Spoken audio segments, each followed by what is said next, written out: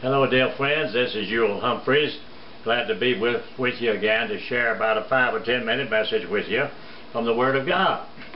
The Word that sets us free. The Word that will give us life and hope and help. I believe this is a word for somebody listening to this message.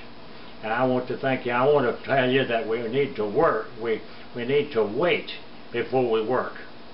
We need to wait before we work. I mean by that we need to wait on the Lord before we go out to do our work in the world.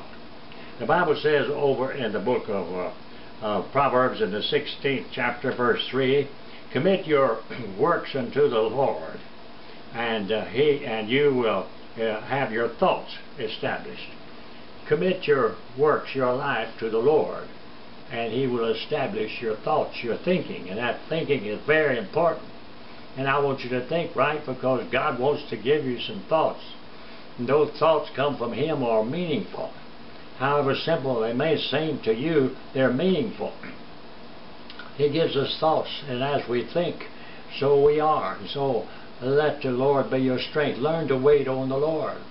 Sarah Young, in her book Jesus Calling, said it's so important to demonstrate your faith by sitting quietly in the presence of the Lord.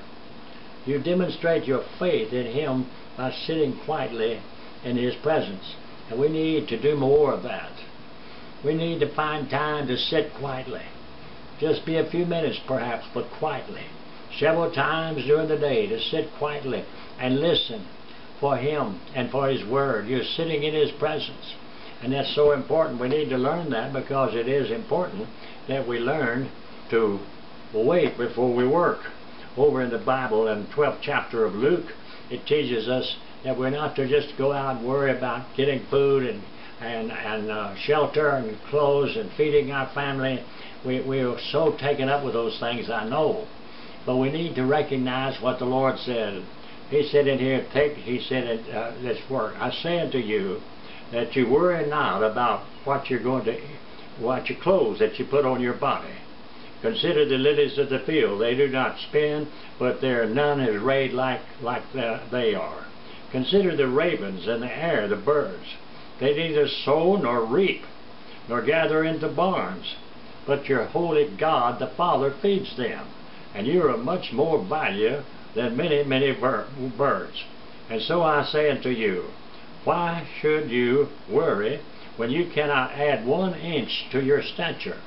You see, you can't change your life as far as many things about your life as God has made you. You can't change your appearance, your, your body. It's way God made you. Be grateful for your body.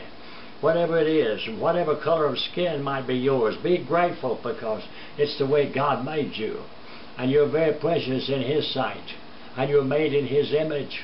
And He loves you very much. And He's going to live in you and guide your life. But you need to wait before Him. Wait on Him before you work. That's important, to learn to wait on the Lord. Over in the Bible again in Isaiah, in the uh, 26th chapter, in verse 3, we read, we read again a word that's important to us, and that word is that we need this word. Commit your works to the Lord, and it will be established in your thinking, I said a while ago. He said in 26.3 of Isaiah, uh, who, whose mind is stayed on you. Uh, blessed is that man whose mind is stayed on you, because you will give him perfect peace. He will give you perfect peace whose mind is stayed on Christ. And so we need that, that staying peace that comes from God. God will give you what you need. He will give you what you need. He will give you good things in this life. He will give you good things. He's going to give you some things that you need in regard to your your your your physical needs. One time a Sunday school teacher was teaching a class of little children and he was teaching about Lazarus and the rich man. And Lazarus was a poor beggar laid at his gate. The rich man had everything he wanted, but he never would help the rich the Lazarus. So the day came when Lazarus died and he went to heaven to be with the Lord. And the rich man died and he went to hell and the dark and the pit and the flame. And so the teacher said, now which one had you rather be? The rich man or Lazarus? And one of the boys said, well, I'll tell you what I believe. I believe I'd like to be like the rich man while I was living, and I'd like to be like Lazarus when I die. oh, too many of us are like that.